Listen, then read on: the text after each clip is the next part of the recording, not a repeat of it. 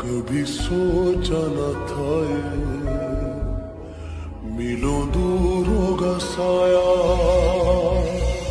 क्यों खुदा तूने मुझे ऐसा ख्वाब दिखाया जब हकीकत में उसे तोड़ना